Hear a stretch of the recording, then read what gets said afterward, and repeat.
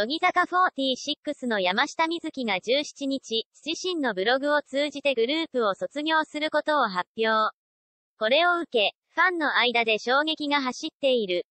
山下美月、乃木坂46卒業発表に驚きの声山下は、本日は大切な皆様へ私からお伝えしたいことがあります、と切り出し、卒業を発表、約7年半、本当にお世話になりました。どんなに多くの言葉を並べてもきっとこの感謝を皆さんに伝えきれません。アイドルとしての日々は、私にとってかけがえのない宝物です、とファンにメッセージを送った。また、卒業後は、少しお休みをいただいて自分のやりたいことは何か、もう一度立ち止まって考える時間が必要だと思っております。と少し休みを取ることも説明。3月27日に発売される 35th シングルが乃木坂46として最後の参加となり、卒業コンサートは5月を予定しているとした。突然の発表に、ファンからは、待って、マジカン、嘘だと言ってください、え、